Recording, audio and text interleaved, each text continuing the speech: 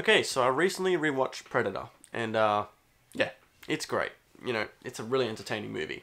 Maybe not quite as good as Alien, but pretty damn close, I think. So let's just get into it. Really solid visuals. Let's get into the spe- let's get into the specifics though. First thing, camera composition.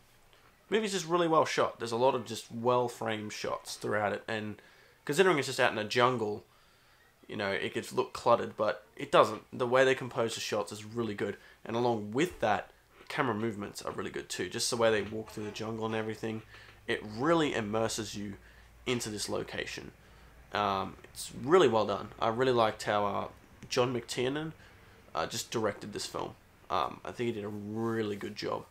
All right, moving on to another thing with the the visuals, wide shots. This movie, this is not something I noticed as um, until kind of this viewing, and it's just one particular shot, but throughout the movie there are good shots um, that are somewhat wide. Maybe you'd call them even a mid shot, but they're like far enough to see kind of like the full frame of the characters. So I guess you could say they're like a wide shot.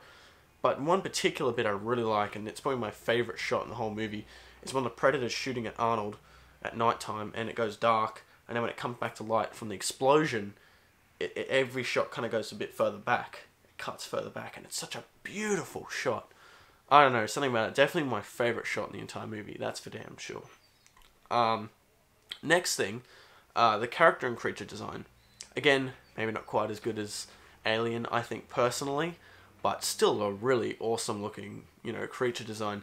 And on top of that, the costuming of it. It's all practical. It's an actual thing they made, and it's so cool. Like it, it feels still pretty damn real, and that's what's so cool about it. Is it's it's all practical, uh, for the most part. There's a few CG things here and there. I think when it's jumping through the trees in one bit, kind of like when it's invisible and whatnot, you know. But when you actually see it, it's actually real for the most part. And it's that's really cool that they they actually committed to doing a costume and all that type of stuff. Um, moving on to the next thing, number six, uh, the acting. Um, now, that being said, not great dramatic performances, but just really entertaining performances. Okay, just really engaging actors that just look like they're really having fun with making this movie, and it and it you know it makes you have fun, especially in that first half. They act like just true full on badasses. You know, it's fun. It's really cool, and it's it's very engaging how they do it. All right, the next thing along with the acting, the line delivery, particularly when they're taking out that village with all those people, um, all those like guys with the guns and everything, and he pushes the car off the thing and explosions and everything. Such a cool scene, but just the dialogue as well. You know, Arnold like kicking down the door, knock knock, and then and you got time to duck, and just all this like just it's just really funny line delivery. Uh, yeah, just really fun. You know. Uh, next thing, the music. Uh, the opening credits with that or however the heck it goes. So good, so good. I, I, I love it. It's it's really awesome. It just gets you pumped, um, and it kind of sounds like the Predator. That kind of, uh, yeah. It's just, it's really cool. I, I love it. And then just that song they use when they're flying in on the chopper too. That old song or whatever, that rock song or whatever. It's just it's awesome. You know, and that adds to the whole badass characters as well. That music. All right, the next thing, uh, the humor. And now this is in that kind of like that first half once again, just how the characters interact and all that. It just it makes it fun and it makes it kind of real. Like you you imagine people would you know be like this, especially if they're just ultra badasses. You could see them just kind of joking around and talking shit to each other. You know, you you could see that. You know. Um, next thing is uh, brutal and shocking moments. This is something that's funny with this movie, and actually I should bring up the case of it. So yeah, there's my thumbnail right there. yeah, so, but this is what's surprising. This movie is rated M, right?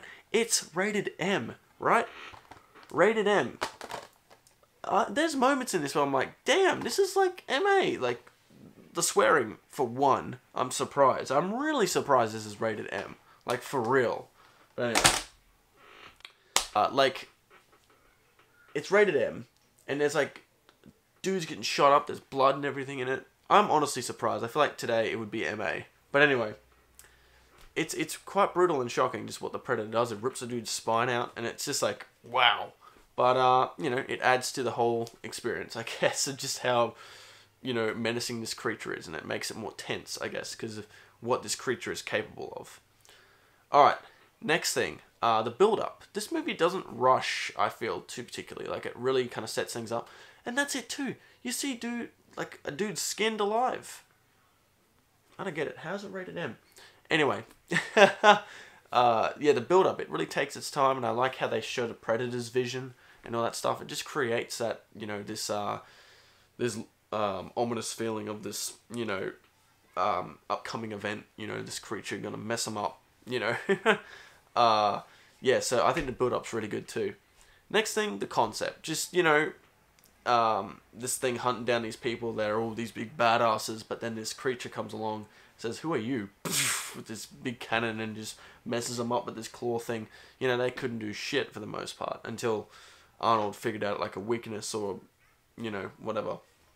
Um, you know, it wasn't strength that won the day. It was more, you know, their mind and trying to figure out and strategize how to beat it, not by um, brute strength.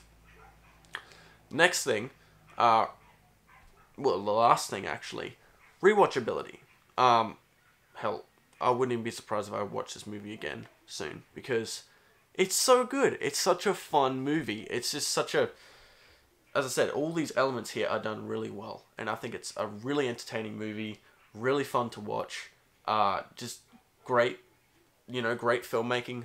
Uh, yeah, it's it's it's um it's surprising that it's it's seen as like a classic. I guess I I think people see this movie as a classic, right? Um, I sure hope so. I, I consider it to be. That's for sure. So uh, yeah, that's it for this movie, uh, Predator. So thirteen things I liked about it. So yeah, um, you know, I'd like to hear your thoughts on the film, um, positive or negative. I know there is some people that don't like it. I remember hearing some critics saying they didn't like it, how they really exaggerate the whole badassness of the characters. But I think it, just makes it fun. You know, I, I I don't really mind that at all. I think it just, uh, I think they did that well. I didn't think they it was overbearing. For me personally, I, I think it worked fine. So uh, yeah, that's it for this review, and uh, you can check out my letterbox. you know, and down in the description below you can see all the things I liked about it. You know, if you didn't catch it on catch onto it in this video, you can just see the list down below. So um, yeah, catch us next time, eh?